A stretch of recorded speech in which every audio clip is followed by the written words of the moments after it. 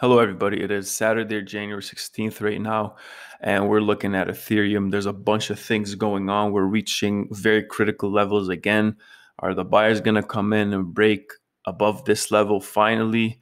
Or no, are we going to pass through this huge resistance? This is not even one line. I can't even draw one line here just to kind of show it. It's more of a, just a zone in general that we keep on, you know, every time we hit it, it's just, I don't even like trading this at the moment, but um, it definitely does look bullish, and but the downsides, the, the, the move downwards is is scary, right? So if you're if you're doing this for the long term, obviously this is different. This this does not affect you much, unless you're trying to maybe buy the dips. Unless you don't like seeing your money going down when you buy at these specific areas.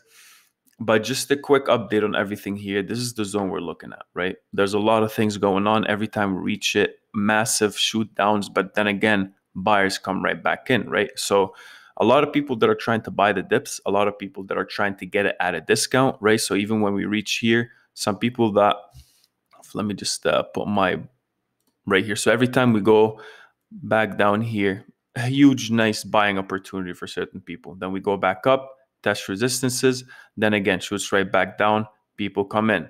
Again, shoots right back up, we gain some momentum. As soon as we get close to this zone again, we shoot back down and look at this one. This is the most interesting. That's why I'm looking at the two hour right now.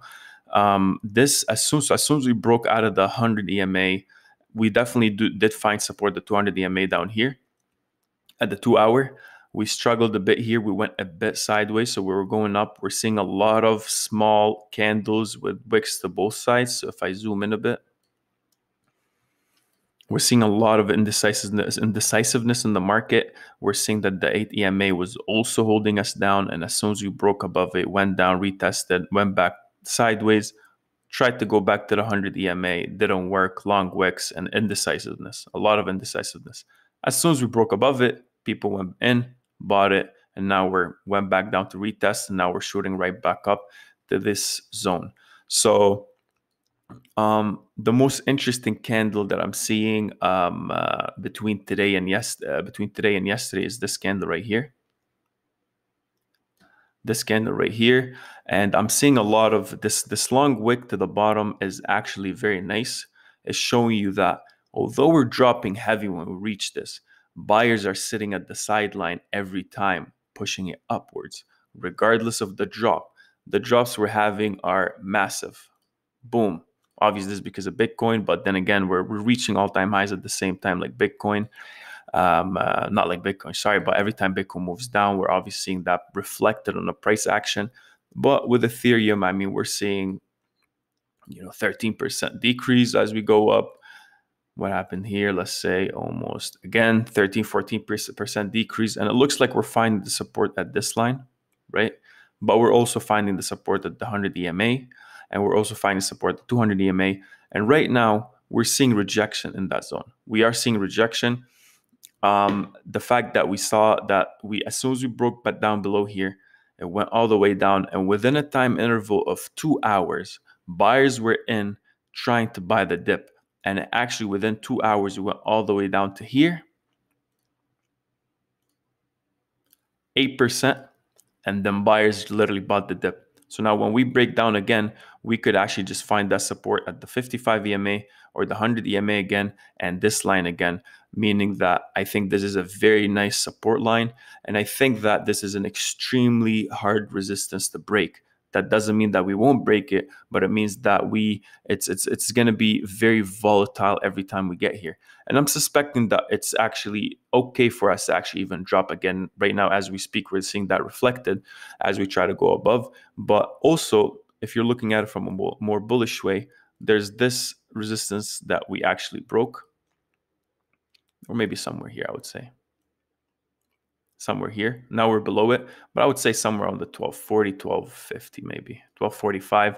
This resistance. We tried to break above it, pushed up. This is usually very bullish. Every time you see a candle like this at, at a breakout at a very heavy resistance zone, there's usually you know continuation. But just because there's a lot of sellers selling here, it's going down. And now we kind of broke below. The two hours is going to close in 21, uh, 23 minutes. If it closes looking like this, like a hammer candle, which is um, something like this, you get a long way to the to the upside and then you get your hammer And uh, yeah, it's just showing you that for closing below and right now that we're definitely pushing down. Um, uh, yeah, this is a bearish inverted hammer. If you see after a top out like that, it usually has to go down. Something similar to this. This is not a hammer, but I mean, it's just showing that the body's a, a wick to the top side, body's narrow. And this here, same thing, as long as we're closing below the open. So this is the open price right here. This was the open. And then we go below what we opened at, right, right here. And it's also showing us that we did try to go above what we did, but we couldn't. So now, um, uh, you know, if you watch our videos, you can tell that um, uh, we don't like looking much at the MACD and the stochastic RSIs when we get to these price levels right here, because it starts to kind of jam the readings on this MACD. Uh, so the MACD right now is showing on the two hour that we are kind of going down a bit. We're taking down 22 minutes to close. If we're looking at the RSI itself, we're seeing that boom, there is a downtick, right? And we're looking at this line right here somewhere like right here where's the oversold region but i'm seeing a downtick right here and i'm also seeing that there's a squeeze so we're reaching a very critical level buyers and sellers are actually fighting um, do we have enough to break it right now i'm not sure i'm not going to claim that i know but if we're just looking at everything here looks like the buyers are waiting on the line and i think right now if bitcoin actually does go up we're going to break this all over again so um, we are making lower highs. So if we do re- get rejected somewhere around here, we go down all the way down here. And if this does not hold or if the EMAs do not hold, I think we did attempt the first time, we did attempt the second time, and it was a lower high. If this case continues to go down again, this area right here is extreme volatility. I would honestly suggest if you're, you know, if you're trying to day trade this and you know it's not like you have a lot of experience in this, then this is a zone where anything could happen. Um, uh, I don't like trading it. You know, there's a lot more riskier day traders right there. You know, making a lot of money from this. But to me, I'm, I'm more of a conservative trader. I don't like jumping into into things like that, like this a lot. But I try to protect my money regardless. So anyway, so we're reaching this apex somewhere around here, so many things can happen. We're seeing the selling happening right now. We're seeing that if we're looking at the volume, every time we dip and make a value like that, there's a huge move that happens, right? The volume goes up like crazy, and it doesn't matter. It could be selling or buy volume, but there's always that dip always that when we go down, create a valley and start picking right back up again. And you can see it in the price action here. We're reaching that area where something major is about to happen. Um, I'm leaning more towards another um, drop right now. Obviously, I think it could drop easily. But um, in terms of predicting it right now, I think it also depends on what Bitcoin has. If I'm looking at the Bitcoin dominance chart, this line right here, let me just remove all these uh, things for you, right? And the EMAs.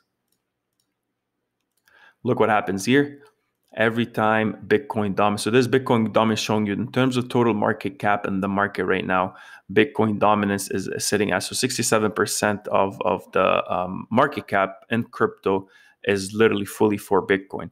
And as it goes down, right, over time, you see that Ethereum picks back up. So if Bitcoin right now actually keeps on going down, people do take their money from Bitcoin and put in other altcoins or Ethereum or whatever it is the case might be every time we do drop, and if this continues to drop, then Ethereum will keep going up. And Ethereum has a lot of good signs that it actually could go up. I think volatility is about to happen. I'm going to see a lot of things going. But um, uh, yeah, it's, it's interesting times right now. Very interesting. So uh, I'm not going to call this. I'm not going to say it's going to go up or down. I think buyers are in. I think we're going to see the volatility. I think we could actually do break. They're ready. They're sitting. As soon as we break above this, we need to reach this, guys. Very critical level. We need to break above this. If we don't, and right now we do get rejected, come back in and stay here, and we don't break above, then Ethereum's going to drop. That's what I think is going to happen. So make sure you join our Discord. Make sure you um, uh, stay and follow up uh, on uh, some of those videos. And uh, yeah, just comment in the description below. Tell me what you think. And if uh, if um, uh, you like this video, please uh, press on the like uh, button. And um, uh, yeah, thank you for watching.